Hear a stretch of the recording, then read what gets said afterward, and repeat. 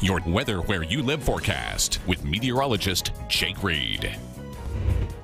Up until about an hour ago, places like Huntsville, Decatur, Athens, it was dry all day long, but you know that's changed. You've probably heard the rain coming down. Hasn't been too hard, but some places it is coming down at a pretty good clip. Let's take you outside. Hopefully you are put uh, staying put for the rest of the night, but if you have to get out, uh, please take it easy because the roads are very, very wet and we've just got light to moderate rain and it is not going to subside anytime soon. I'm expecting this to continue in Huntsville and Madison and Harvest and Toney for several more hours. You see the radar here. We have got widespread rain almost covering every square inch of the valley right now. It's spreading north into Colbert County, Lauderdale County, Lawrence County getting soaked.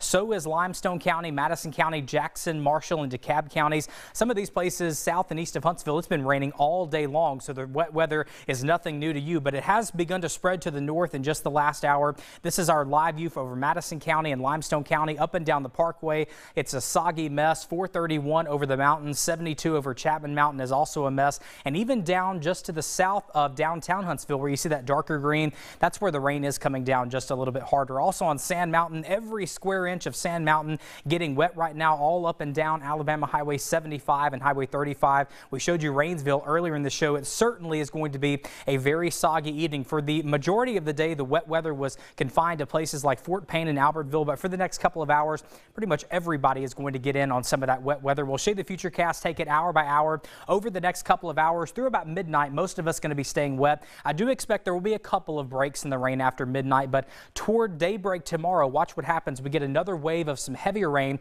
moving in after midnight tonight towards about sunrise tomorrow. It's mainly going to be east of Interstate 65, especially right here along Interstate 59. Look at the timestamp. This is 6 o'clock tomorrow morning. If you're going to be traveling out here in Fort Payne and Albertville, you see all the yellow. That's very heavy rain that could be coming down, and those are the areas where the rain is going to be piling up quite a bit. This is probably the most important graphic in the entire weathercast. I want to break this down for you. If you're north and west of Athens and north and west of Huntsville, you're not going to see a whole lot more measurable rain. It's south and east. That's where we could see an additional one to two inches of rain over places like Etowah County and Weiss Lake and Lookout Mountain. But you see, we have got a whole lot of numbers scrunched in here. There's going to be a big, what we call gradient from northwest to southeast. Huntsville, I think we'll see about another quarter to maybe as much as a half inch of rain, but certainly the heavier amounts are going to be staying to the south of us. Tonight, a pretty soggy night. Do not forget the umbrella if you have to be outside. Tomorrow, rain is likely in the morning. I think we could see some sunshine, though, in the afternoon. That'll pop that temperature to about 72 degrees. Look at by Tuesday, partly sunny and very warm.